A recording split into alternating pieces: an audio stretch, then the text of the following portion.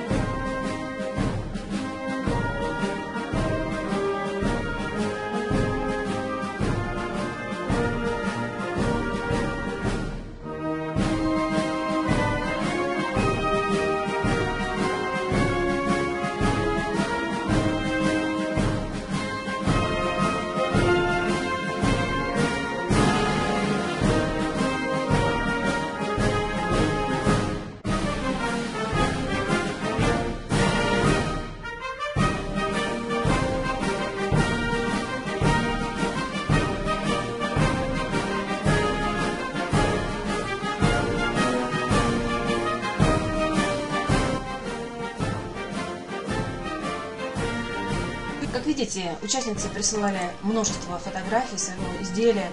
Это говорит о том, что сами они получили от этого огромное удовольствие и рады этим удовольствием поделиться с нами. Поэтому, пожалуйста, по ссылочке под этим видео переходите на страницу голосования и помогите нам выбрать того, чье изделие будет самое-самое удачное, самое-самое красивое. Выберите только работ, но один раз. После голосования вы сразу же увидите результаты голосования, в каком состоянии сейчас находится голосование. Результаты мы будем подводить 27 июля 18 часов. Здесь же в группе э, «Марафон Пень Березовый» и вы сможете зайти и увидеть, тоже получает главный приз, э, сертификат на 1000 рублей от нашего спонсора магазина «Невская рукодельница».